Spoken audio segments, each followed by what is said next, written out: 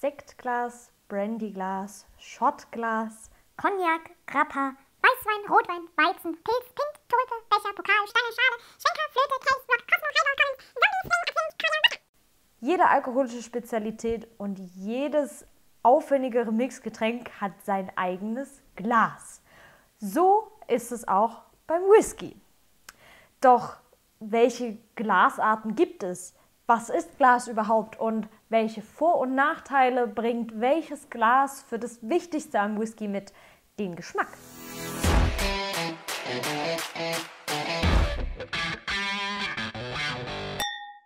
Diese Fragen versuche ich euch alle im heutigen Video zu beantworten, doch fangen wir am Anfang an. Ganz grob erklärt ist Glas eine amorphe, also atomar ungeordnete Substanz, die durch Schmelzen erzeugt wird. Dabei werden mehrere Zutaten zusammengeworfen und bei etwa 1600 Grad Celsius erhitzt, bis sie schmelzen. Dann bläst der Glasbläser die dicke Flüssigkeit mit einem langen Rohr in Form und nach dem Abkühlen haben wir fertiges Glas. Wie ihr am Anfang von diesem Video gehört oder gesehen habt, gibt es die verschiedensten Arten und Varianten von Gläsern. Ich will mich heute mit den wichtigsten Whiskygläsern beschäftigen. Entsprechend lasse ich das klassische Saftglas, aus dem man natürlich auch Whisky trinken kann, einfach mal weg und befasse mich nur mit den tatsächlichen Whiskygläsern.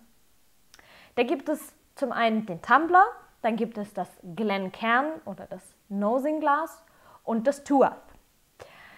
Ich habe bei meiner Recherche die unterschiedlichsten Namen und Bezeichnungen und Varianten gefunden. Teilweise werden Nosing-Gläser mit Glencairn-Gläsern gleichgesetzt, teilweise nicht. Dann kommt es darauf an, langstielig, kurzstielig. Ich versuche euch das mal grob runterzubrechen. Das wohl bekannteste Glas ist der Tumbler. Der sieht aus wie ein Saftglas, ein bisschen in kurzer Form und äh, ist aus den meisten Filmen als sogenanntes Whiskyglas bekannt. Den gibt es in gerader Form, den gibt es leicht abgerundet, stärker abgerundet, in Diamantenform oder aber auch als Rocking Glas. Dann gibt es noch das Glencairn-Glas oder auch das Nosing-Glas. Es zeichnet sich vor allem durch seine Tulpenform aus. Das heißt, es ist sehr bauchig und die Öffnung oben ist schmaler als der Bauch. Das Ganze gibt es mit kurzem Stiel, mit langem Stiel, ganz ohne Stiel, mit nach außen gewölbtem Glasrand oder mit besonders breitem Bauch. Außerdem gibt es noch das Tuath. Das ist ein relativ geradliniges Glas, ist dem Glencairn von der Form her aber grundlegend ähnlich. Dazu habe ich außerdem die Namen Bugatti oder auch Nosing-Glas gefunden. Ihr seht, ganz so eindeutig ist es dann doch nicht und es gibt, wie ihr an der Armada von Gläsern auf meinem Schrank sehen könnt, sehr, sehr viele Varianten davon. Ich habe mir jetzt mal so ein paar, die ich natürlich auch als Gläser da hatte, rausgegriffen und will natürlich die auch nicht nur erklären und erläutern und theoretisch präsentieren, sondern auch einen Whisky da drin probieren. Dafür habe ich mir den neuen Artback Wee Beastie geschnappt. Der Tobias von Moe Hennessy hat mir dafür extra ein kleines Sample zukommen lassen. Dankeschön an der Stelle. Und ich habe das Ganze mal auf ein paar wichtige Gläser verteilt und äh, werde mir mal die Unterschiede angucken, wie die anders, unterschiedlich oder einfach nur gleich schmecken. Den Artback Wee Beastie gibt es jetzt seit April 2020 für 37, 38 Euro im Handel. Ganz neues, äh, permanentes Mitglied in der Artback-Familie, ist fünf Jahre jung, ist nicht gefärbt, nicht gekühl gefiltert, stammt aus Oloroso und Sherry Hogsheads. Und ähm, jetzt muss ich ganz schnell auf das Fläschchen gucken. Hat 47,4 Volumenprozent Alkoholgehalt. Und ähm, ja, ich bin sehr, sehr gespannt, denn bisher haben mir eigentlich alle Standardabfüllungen von Artback ganz gut gefallen, die ich probiert habe. Ähm, mag ich sehr, diese Brennerei. Und ich erwarte jetzt natürlich einiges. Ne? Wee Beastie bedeutet übersetzt kleines Biest. Und ich stehe ja so ein bisschen auf die jungen, noch unrunden, ein bisschen wilden, ungeschliffenen Diamanten an Whiskys. Und entsprechend sind meine Erwartungen sehr hoch. Ich will jetzt hier Pam einen Bud Spencer-Schlag an die Fresse bekommen von dem Whisky. Außerdem bin ich gespannt, in welchem Glas sich der Whisky für mich am besten darstellt. Ich fange einfach mal an mit dem Glencairn oder dem Nosing-Glas. Es ist besonders auffällig durch seine Tulpenform, das heißt, es ist sehr bauchig in der Mitte und die Öffnung ist schmaler als der Bauch vom Glas. Das hat den Vorteil, dass ähm, an den Whisky nicht so viel Sauerstoff ran kann, das heißt, er oxidiert nicht so schnell und die ähm, Geruchsmoleküle kommen ja in, in gewissem Maße aus dem, aus dem Glas raus und verteilen sich nicht einfach und fliegen nicht an meiner Nase vorbei, sondern sind ziemlich zielgerichtet auf meine Nase und auch auf meinen Mund dann am Ende.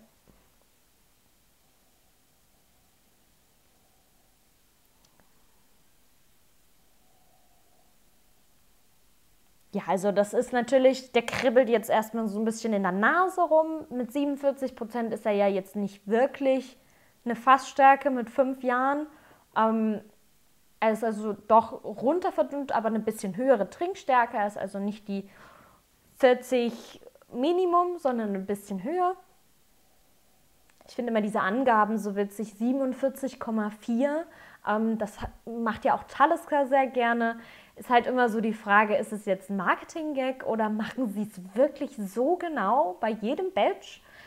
Mm, ich glaube, da ist auch ein bisschen, äh, dass sich die Leute die Zahl einfach gut merken können dabei. Und also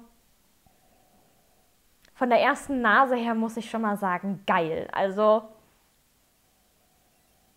der ist sehr sehr speckig, sehr rauchig, sehr so wie na, Grillfleisch auf dem Grill.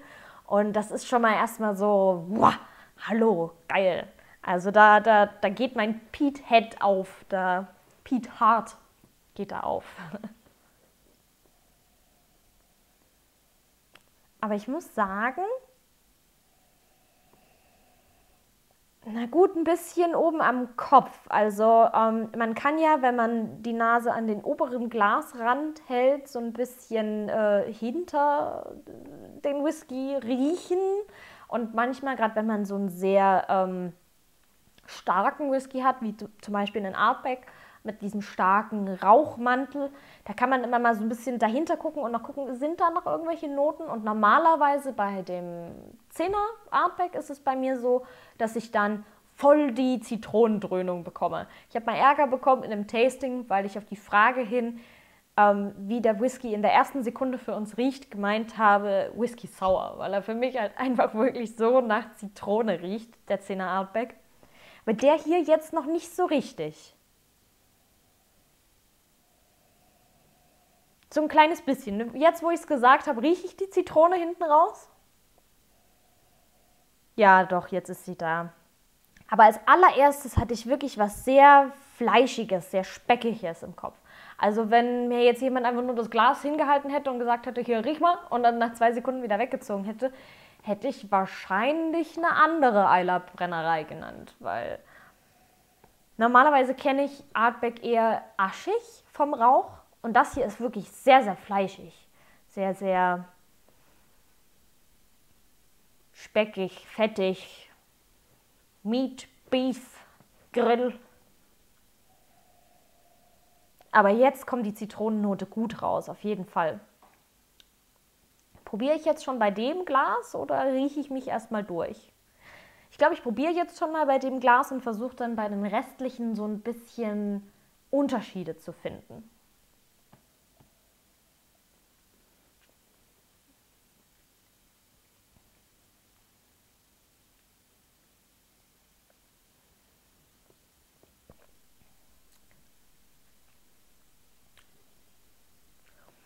Also generell ist der erstmal ziemlich geil. Vor allem von hinten zäumt sich das Pferd sehr gut auf. Also ähm, da hat er wieder dieses Aschige mehr. Also der riecht fleischiger, als er am Ende ist. Er hat wieder dieses klassische Aschige. Er ist eine schöne Rauchbombe. Er teert die Zunge einmal komplett. Ähm, er haut einen jetzt natürlich nicht mit Alkoholprozenten um oder so. Vielleicht habe ich auch ein kleines bisschen mehr Bombe erwartet, aber vom Rauchgehalt ist er top. Das ist wirklich, wirklich schön. Ähm, ist, er ist kräftig. Ich habe im Geschmack jetzt die Zitrone nicht so sehr gehabt. Es war wirklich eher in der Nase. Ich hatte aber zwischendrin irgendeine ganz komische, verirrte Note so einmal mit drin. So wie, ähm, ich weiß nicht, ob ihr das kennt, das sind jetzt wieder meine komischen Assoziationen. Wenn man eine Pfanne oder ein Backblech oder sowas neu kauft und vergisst, das vorher einmal zu erwärmen. Man muss das ja eigentlich einmal erwärmen, damit irgendwie diese Hitzeschutzlegierung oder irgendwas sich entsprechend, auf jeden Fall muss man das einmal warm machen, damit es am Ende dann auch schmeckt, was ich da drin zubereite. Und wenn man das vergisst, dann schmeckt das so ein bisschen, naja, jetzt nicht nach Plaste, aber so ganz, hat so eine ganz komische, nicht Essen, sondern irgendwas chemisch gerätetechnische Note ja, so ein bisschen in Richtung Plastik gehend. So wie manchmal so alte Tupperdosen riechen, wenn man die aufmacht. Das hatte ich zwischendrin komisch irgendwie so ganz kurz schoss mir das ein, aber war wirklich auch nur ganz knapp. Ich probiere nochmal.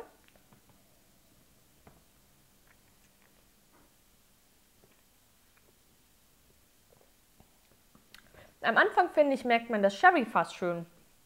Da habe ich richtig so eine Jetzt hatte ich dieses komische nicht. Vielleicht äh, habe ich jetzt quasi das Glas einmal durchgewärmt und jetzt schmeckt es gut. Ähm, aber er ist recht mild, finde ich. Also am Anfang hatte ich, wie gesagt, schön ein bisschen dieses süße Sherryfass. Dann raucht er so ein bisschen durch hinten. Aber jetzt auch nicht mega, mega heftig. So, dann muss man beim Glencairn-Glas natürlich darauf achten, dass der Bauch nicht zu groß ist.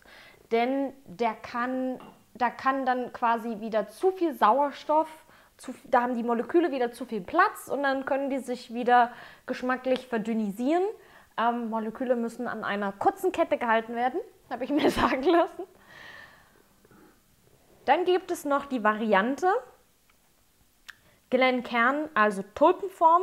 Ich würde das jetzt einfach mal Nosing Glas ist, finde ich, so ein allgemeiner Begriff, passt aber sehr gut darüber. Das Glenkern ist, finde ich, diese spezielle Form mit dem, mit dem kurzen Stiel, während das Nosing-Glas eben alles, was auch so ein bisschen anders geformt ist, mit beingrifft. Das ist jetzt meine Definition. Dann gibt es natürlich noch die Variante, dass ähm, der Glasrand hier oben nach außen gewölbt ist. Das hat den Vorteil, dass sich der Whisky breiter im Mund verteilt, allerdings auch den Nachteil, dass er dadurch flüchtiger sein soll. Probieren wir es aus.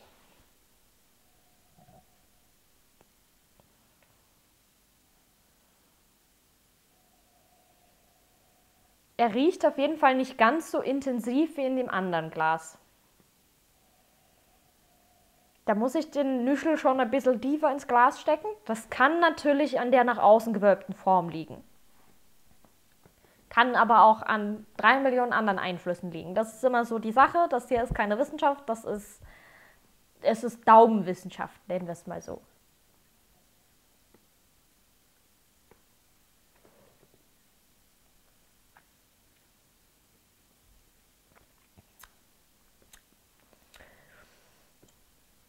Geschmacklich ist er genauso intensiv, würde ich sagen. Am Anfang. Aber ja, er ist tatsächlich hinten raus so ein bisschen weg. Also ich hatte jetzt das Gefühl, dass der Whisky bei dem ersten Glas ein bisschen mehr auf meine, zentral auf meine Zunge gekommen ist. Und jetzt hatte ich den an den Seiten von meiner Zunge.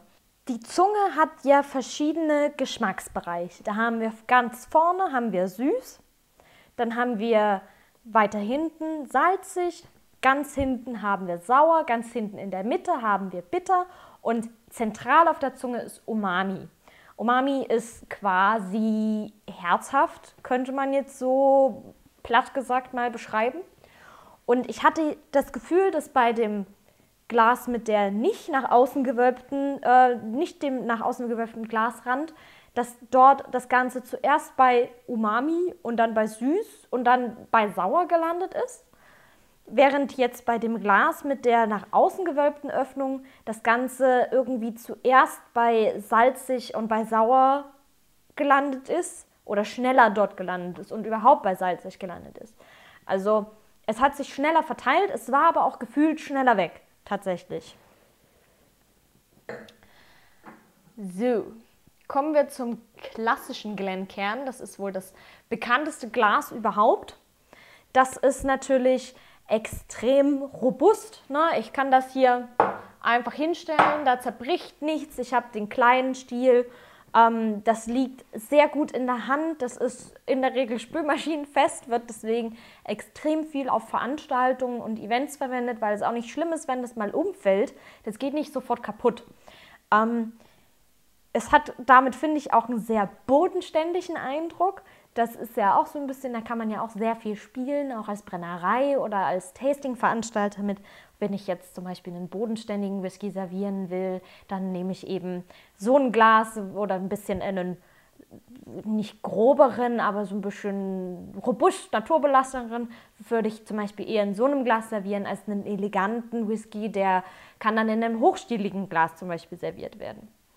Ähm, auf jeden Fall äh, auch hier wieder die Tulpenform vorhanden und äh, ein Vorteil oder Nachteil ist natürlich, dass man das Glas sehr in der Hand hat. Ähm, dadurch erwärmt sich der Whisky zu einem gewissen Maße auch in meiner Hand. Vor- und Nachteil deswegen, wenn ich in einem sehr kalten Raum bin oder den Whisky aus einem sehr kalten Raum geholt habe oder draußen ein Tasting mache und das Glas in der Hand halte, hat das natürlich den Vorteil, dass es den Whisky ein bisschen anwärmt. Wenn der quasi unter Trinktemperatur ist, ist dann ein Glencairn-Glas dafür sehr gut geeignet. Ist der Whisky allerdings schon auf Trinktemperatur und ich erwärme den mit meiner Hand, wird er natürlich auch ein bisschen sehr warm vielleicht. Das ist jetzt nicht extrem, ähm, erinnert aber so ein bisschen, finde ich, auch an, äh, wenn man das hier so dazwischen klemmt, zwischen die Finger, an so einen Cognac-Schwenker den hat man ja auch so ganz in der Hand. Genau. Das Einzige, was tatsächlich ein Nachteil sein kann, ist, dass bei diesem Glas, wenn man den Whisky riechen möchte, die Hand sehr nah an der Nase ist. Und ich weiß nicht, ob euch das schon mal so gegangen ist, als Männer wahrscheinlich eher nicht, aber mehr als Frau schon. Wenn ich Handcreme benutze, die sehr, sehr lange oder sehr intensiv riecht, dann rieche ich das bei einem Tasting. Das ist für mich zum Beispiel auch so ein Ding, wenn ich zu einem Tasting gehe und weiß, okay, ich äh, muss mich extrem auf Geruch und Geschmack konzentrieren. Da gucke ich, dass ich vorher möglichst nichts esse oder trinke, was einen extremen Geschmack abgibt, wie Cola, Döner, allgemein Zwiebeln oder äh, so ein Zeugs. Da versuche ich das möglichst einen neutralen Geschmacks- und Geruchssinn vorher zu haben und auch meine Hände nicht stark einzucremen, nicht zu viel Parfüm oder Deo zu nehmen, weil mein Eigengeruch mich dann teilweise in die Irre führen kann, ablenken kann, Störaromen streuen kann, wie der Sommelier jetzt sagen würde. Nennt man das bei Whisky eigentlich auch Sommelier? Das weiß ich gar nicht. Also Sommelier kenne ich eigentlich so als Weinexperte. Würde mich mal interessieren, ob das beim Whisky auch Sommelier bedeutet, dass Sommelier einfach so ein Spirituosen-Expertenbegriff ist. Ähm, das weiß ich nicht. Auf jeden Fall, das ist das klassische Glencairn, was eigentlich, denke ich, die meisten kennen. Hier ist er ein bisschen intensiver vom Geruch her als mit dem Glas mit dem ähm, nach außen gebogenen Rand. Also es drückt mir ein bisschen mehr den Whisky in die Nase. Auf jeden Fall.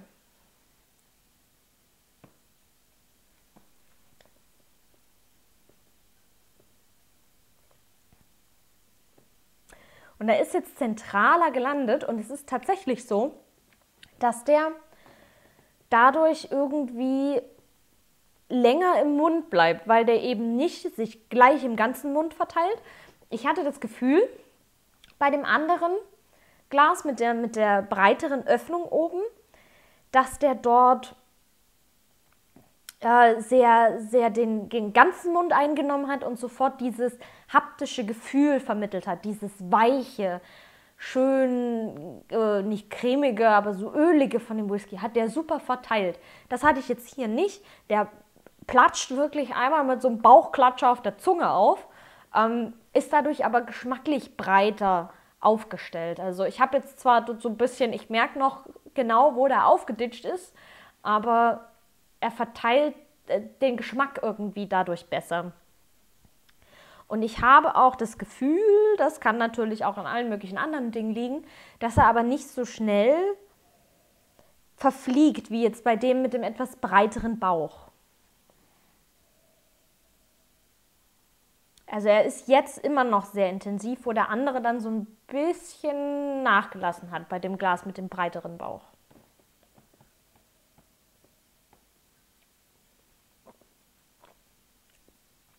hatte ich auch schön das Sherry-Fass am Anfang.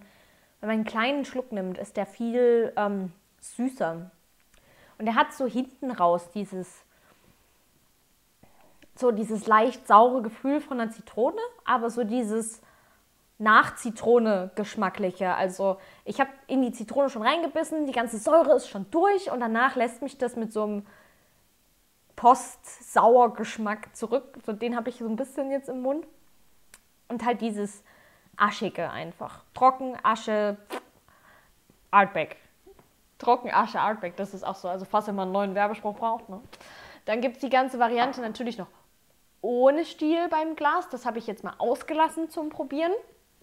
Und komme zum langstieligen Glencairn Nosing Glas. Natürlich schön das von Artback gleich benutzt ich aus der Brennerei mitgebracht. Da war ich 2017. Da verlinke ich euch irgendwo hier oben mal das Video. Das äh, ist, glaube ich, auch mit dabei. Genau, da haben wir die, den Whisky Trail von Lafroy Lagavulin in Artbeck gemacht. Das war sehr schön und ich hoffe, dass ich es auch dieses Jahr vielleicht noch nach Eila schaffe. Geplant war es für den November. Mal gucken. Würde ich mich sehr, sehr freuen, nochmal dorthin zu kommen. Das ist natürlich auch wieder so ein Ding der Benutzung. Jetzt habe ich schon so ein langstieliges Glas und touch es trotzdem hier oben an. Das ist aber mein Fehler, das tut mir leid. Ich benutze es jetzt mal äh, ganz absichtlich am Stiel, so wie ich es normalerweise nicht tue. Also wahrscheinlich macht das für mich keinen Unterschied, ob das einen Stiel hat oder keinen. Also ähm, so ist das halt, ne?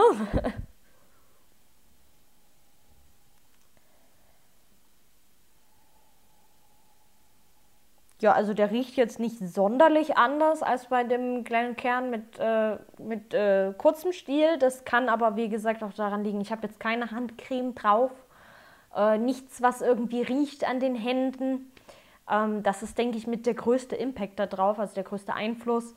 Und ähm, ja, mit der Trinktemperatur, das ist halt auch wieder so eine Sache. Mache ich mit meiner Hand das wirklich so warm, wenn ich äh, jetzt eine Standardkörpertemperatur von 39 Grad habe, vielleicht, aber ansonsten dauert das, denke ich, auch eine Weile, zumal das Glas ja auch am Bauch immer ein bisschen dicker ist als oben am Rand und da tritt ja auch Wärme langsamer durch.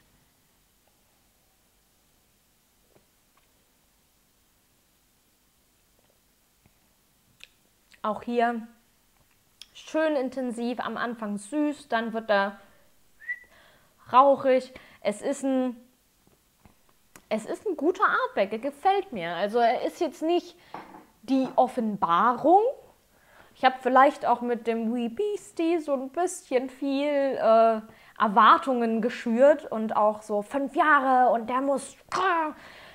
Ich habe zum Beispiel bestimmt schon mal davon erzählt, es gibt einen Etrodauer, nein, einen Balechin, also einen rauchigen Etrodauer, ähm, straight from the cask. Also das ist eine Serie, da nehmen die den so aus dem Fass, wie er ist, füllen ihn in die Flasche, fertig. Und da gibt es einen im Bordeaux Cask aus dem Jahr 2018 habe ich den probiert. Und der hat, nie 2019 sogar. Und der hat mich wirklich umgehauen. Das war der ungeschliffenste Diamant, den ich je probiert habe. Der hat mich rauf, runter, links, rechts, vor, zurück geschickt. Vom Geschmack her, aber auf eine so gekonnte Art und Weise, dass er wirklich einfach war ein ungeschliffener Diamant für mich und geschmacklich so super und trotzdem wild und ungezähmt und das fand ich total toll und wenn ihr auch Peatheads seid und schon mehrere Rauchige probiert habt, gibt es ja auch die, die mehr rauchig sind und die, wo ihr dann so fragt, ja, und wo war jetzt der Rauch?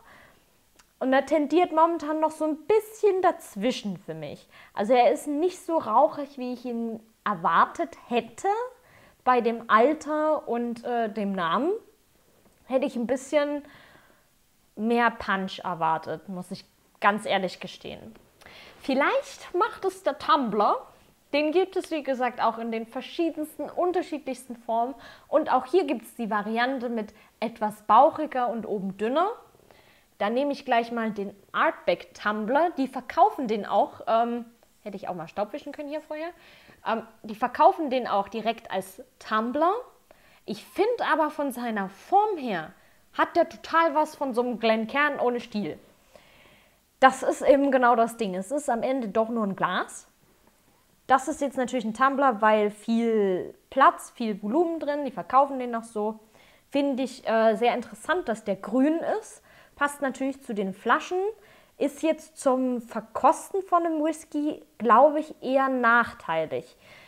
Weil ja auch viel die Farbe mit reinspielt, wenn ich den analysieren möchte. Wenn ich ihn jetzt einfach nur trinken möchte, und dafür ist ein Tumbler ja eigentlich auch gedacht, ist der, denke ich, top. Hat das Artback-Logo drauf, hat unten auch dieses, äh, dieses ähm, keltische Knotenrad mit dem A drin. Ist, finde ich, auch super schick, riesengroß, also nicht voll machen, dann ist eure Flasche Artback alle. Ich probiere ihn jetzt einfach mal aus dem Glas. Durch, die, durch den dünneren ähm, Hals oben kommt noch relativ viel Geruch an.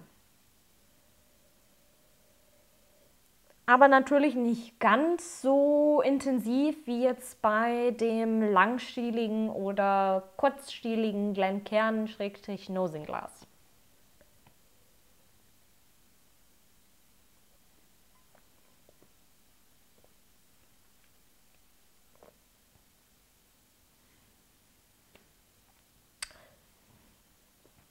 Witzig. Hier hatte ich jetzt sogar mehr Punch als aus dem Nosinglas. Das finde ich interessant, das finde ich witzig. Aber was ich eigentlich am Tumblr liebe, ist das Gefühl in der Hand. Das habe ich schon mal irgendwo gesagt, das wurde auch ziemlich belächelt, aber ich mag es, ein Glas in der Hand zu haben. Man sieht es selbst bei dem langstieligen ähm, Nosing-Glas, ich das Glas an. Ich bin da einfach, ich brauche ich brauch was an der Hand, Jungs. Es ist einfach so und äh, das habe ich beim Tumblr. Ich liebe Tumblr für Feiern, für wenn ich mit Freunden zusammensitze oder wenn ich einfach an einem Abend mal mich nicht aufs Analysieren und Zerdenken von einem Whisky konzentrieren will, sondern einfach nur geilen Geschmack haben will, Whisky trinken will und mich nicht auf den Whisky fokussieren, sondern auf den Rest. Und so habe ich was in der Hand, ganz normal und bin ich so hier äh, und muss ein bisschen aufpassen mit meinem Glas, weil das hat einen langen Stiel und dann verschwepper ich das. Ich bin da auch mal so ein bisschen ein Talent für. Und hier, da kann nichts passieren, das ist stabil und ähm, ich habe, wie gesagt, was in der Hand und es sieht auch immer, muss man dazu sagen, spielt ja auch in das ganze Erlebnis Whisky mit rein. Ich fühle mich einfach mega cool, wenn ich irgendwo mit meinem Tumbler sitze und meinen Whisky pur trinke. Also das ist einfach ein schönes Gefühl. Es hat irgendwie was. Vielleicht kennt ihr das auch. Auf jeden Fall, deswegen liebe ich den Tumblr. Zum Verkosten ist er vielleicht nicht ideal, weil man wenig von dem Whisky sieht, jetzt vor allem halt bei dem grünen Artback Tumbler und er ist halt, er wird angetatscht, die Hand ist nah dran und man kann ihn nicht so richtig sehen und er wird viel bewegt und er kann viel oxidieren und sonst was. Weil wenn ihr einfach nur Whisky genießen wollt, ist der ideal. Gedacht ist der Tumbler ja auch, das sieht man bei dieser Variante, also dem etwas breiteren, geraden Glas, so dem klassischen äh, Tumbler, sieht man das sehr gut. Gedacht ist er für Mischen von Whisky oder für das Trinken on the rocks, also mit Eiswürfeln drin oder mit diesen Kühlsteinen oder was auch immer es da für ganz moderne neue Erfindungen gibt. jeden Fall dafür ist der gedacht. In so ein Glencairn-Glas mit so einer schmalen Öffnung oben, da kriege ich nicht mal einen von diesen Steinen rein oder einen Eiswürfel. Das geht einfach nicht. Und ähm, das funktioniert mit so einem Tumbler super. Es gibt Menschen, die trinken ihren Whisky gern on the rocks. Es gibt Whisky, der schmeckt nur on the rocks. White Walker. Und ähm, genau, also dafür ist das einfach super geeignet. Es wird viel Bourbon on the rocks getrunken. Und äh, dafür ist der Tumbler einfach wirklich dann auch super ideal. Und äh, ich trinke extrem gern meinen Whisky Sour da draus. Ich finde, da gibt es die perfekte Mischung. Da tust du 4cl Whisky oder 2cl, wenn du ein bisschen dünner haben willst. Dann machst du einen Schluck Zitronensaft rein, Eiswürfel und dann ein bisschen Sprudelwasser drauf. So ganz grundlegend einfach mache ich meinen Whisky Sour. Ich weiß jetzt, jeder Bartender schlägt die Hände über dem Kopf zusammen. Ähm, ich trinke übrigens am liebsten Smoked Sour. Also so zu Cocktailabenden ist halt immer ein bisschen komisch, wenn du der Einzige bist, der ein bisschen harten Alkohol trinkt. Ähm, da finde ich so Cocktailvarianten total, total genial. Also ich bin kein Fan von Old Fashioned, das ist mir zu bitter, das ist nicht so mein Ding. Aber so ein Smoked Sour finde ich total geil. Ähm, Habe ich auch mal einen äh, Beitrag geschrieben über die Studiobar bei uns hier in Dresden. Die machen einen super, super leckeren Smoked Sour. Und äh, ich bin auch so ein bisschen mehr auf diesen Whisky-Cocktail-Trip gekommen durch den ähm, Podcast, den Whisky-Podcast mit äh, David und Pettok. Der David ist nämlich Bartender und erzählt immer ganz viel von tollen ähm, Whisky-Cocktails, macht aber nie einen wo, für, für den Podcast, wo ich mir so denke, mach doch mal einen. Ich würde mir zum Beispiel mal einen total leckeren Smoked Sour von ihm wünschen. Das ist wie gesagt mein äh, Lieblings-Whisky, doch äh, Whisky-Cocktail. Doch zurück zum Whisky an sich. Ich bin aber wenig abgeschweift. Das ist jetzt der ganz klassische Tumbler. Äh, mir gefällt an der Variante von Glas, dass die unten so dick ist. Dass, also der ähm, Boden ist sehr dick, sehr stämmig und das Glas an sich ist relativ dick. Das ist super stabil. Mir ist das auch schon mal ähm, aus höherer Höhe heruntergefallen auf einen Holzboden und es ist nicht kaputt gegangen. Das fand ich total krass. Und äh, das ist sehr schön stabil. Da kannst du Eis, Cocktail, whatever reinmachen. Du kannst es in die Spülmaschine stellen. Das ist sowieso immer für mich sehr schön. Ich äh, bin sehr faul, was das Aufwaschen von diesen ganzen Gläsern immer angeht. Und wenn ich das einfach in die Spüle schmeißen kann, dann ist das entspannt. Ähm, ich probiere es jetzt mal aus dem ganz geraden Tumbler. Da geht jetzt natürlich mehr Oxidation, mehr Moleküle hin und her und äh, an der Nase vorbei und äh, sonst wohin. Es ist weniger geleitet und gesteuert als jetzt bei dem Artback Tumbler oder dem Tumbler in Diamantenform oder den Glencairn Gläsern oder den Nosing Gläsern.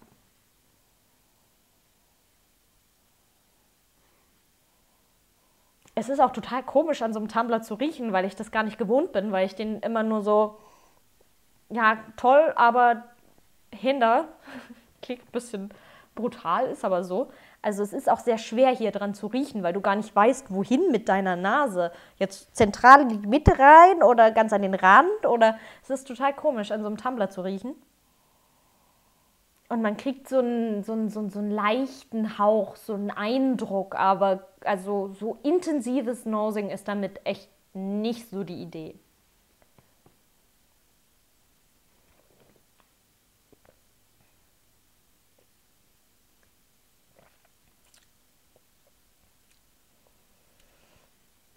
Verteilt sich trotzdem super breit im Mund. Also das muss man wirklich sagen, da hat mich ein bisschen das äh, Glas mit dem nach außen gebogenen Rand am meisten enttäuscht, weil dort ist irgendwie alles weggeflogen. Also das sieht total genial aus, aber es ist irgendwie, der Geruch ist verflogen leicht und der Geschmack war super schnell weg.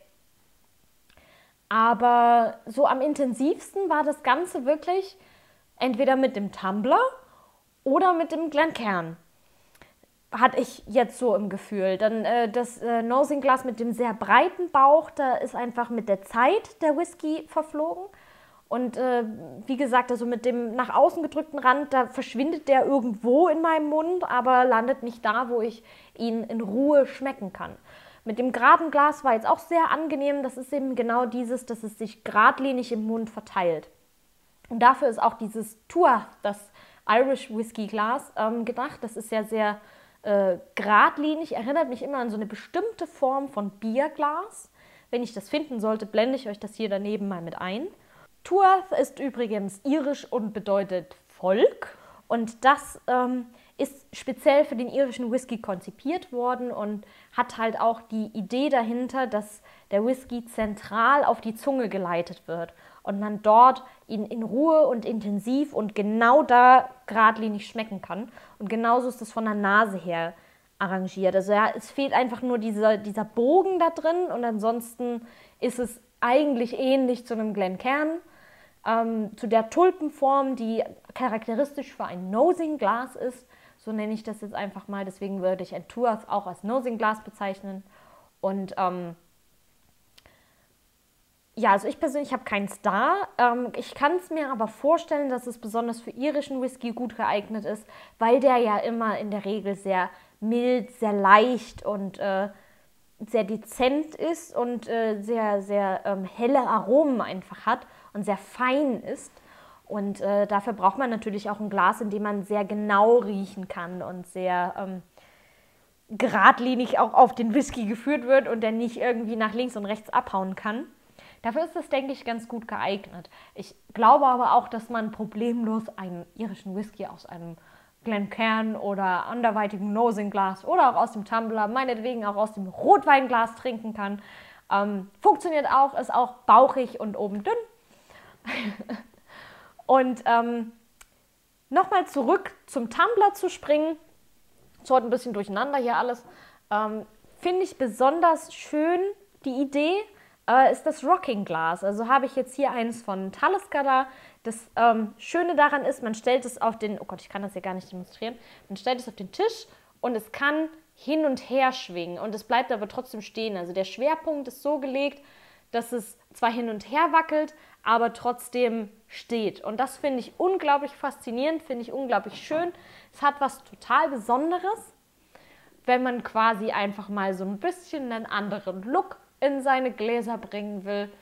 Ähm, natürlich können wir jetzt darüber diskutieren, dass das Rocking Glas ja dadurch, dass es sich auf dem Tisch die ganze Zeit bewegt, den Whisky viel mehr schwenkt und dadurch wieder mehr Oxidation ins Glas kommt. Aber ganz ehrlich, wir trinken für den Geschmack und das ist das Wichtige. Es soll schmecken und äh, das würde, denke ich, auch ein kleines bisschen zu weit führen jetzt einfach an der Stelle. Wichtig ist natürlich, dass ihr neben der Form des Glases und der Optik auch auf die Qualität des Glases achtet. Also wie dick ist es, wie dünn ist es, wie gut ist es verarbeitet, wie praktikabel ist es für mich, soll es in den Geschirrspüler oder nicht, ähm, wird es schnell blind, bildet es schnell Risse, all diese Dinge solltet ihr beachten und natürlich dann lieber ein bisschen mehr Geld ausgeben und ein qualitativ hochwertiges Glas kaufen, ähm, damit ihr auch möglichst lang Freude daran habt. Zu meinem Endergebnis würde ich kommen und sagen, ähm, das langstielige und das kurzstielige Glenkern haben mir für das ähm, Verkosten, für das Analysieren am besten gefallen.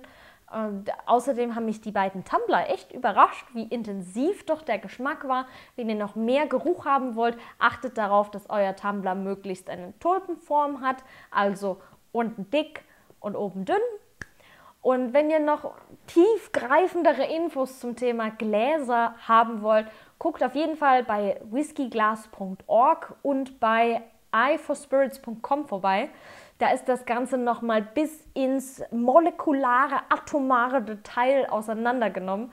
Ähm, die haben sich da wirklich super, super viel Mühe gegeben und ich habe auch viel von meinen ähm, Infos dort mit abgegriffen. Also da gibt es wirklich gut aufbereitet, Infos, Links, wo kriegt ihr gute Glasqualität und alles. Schaut da auf jeden Fall auf den beiden Seiten vorbei. Mein Fazit zu dem Artback Wee Beastie ist auf jeden Fall zwei Daumen hoch. Ich finde ihn ein super unter 40 Euro Everyday Drum. Also Falls es in eurer Preisklasse liegen sollte, muss ich sagen, wirklich top. Wenn ihr auf Rauch steht, ist auf jeden Fall dabei. Er hat ein bisschen Süße. Er ist jetzt aber trotzdem auch nicht ähm, die Geschmacksexplosionsbombe, die total kompliziert ist. Also deswegen kommt er für mich, glaube ich, neben den Lafroy Quarter Cask und noch so ein paar andere ins Regal zu den Standards, die immer da sind. Ich finde ihn einen super angenehmen Everyday Drum einfach. Ähm, überzeugt euch selbst. Ich finde, für 40 Euro ist das auf jeden Fall eine gute Variante und ist damit auch erschwinglich im Vergleich jetzt zu den restlichen Artbacks. Der 10er ist ja, glaube ich, ein bisschen teurer bei knapp 50 Euro und damit immer so ein bisschen, ja, für einen Standard relativ teuer. Ähm, ich finde, Artback kommt uns damit sehr entgegen. Ich mag auch die fünf Jahre. Ich mag es, dass es ein bisschen wilder ist. Für mich könnte es wahrscheinlich noch wilder sein. Und ähm, wie gesagt, ich empfehle euch den als Everyday Drum.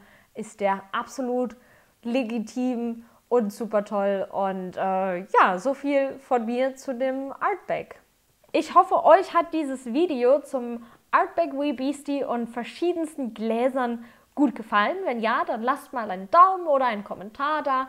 Und ähm, falls ihr keine Zeit habt, die Videos auf YouTube immer zu gucken, dann ladet euch den Podcast runter und hört ihn unterwegs. Den gibt es überall, wo es Podcasts gibt.